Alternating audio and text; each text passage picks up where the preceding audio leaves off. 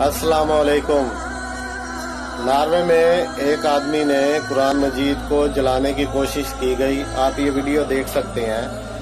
और जिसने कुरान मजीद को जलाने की कोशिश की, वो ईसाई है। और गवर्नमेंट से इजाज़त लेके उसने सरेआम ये काम को अंजाम दिया।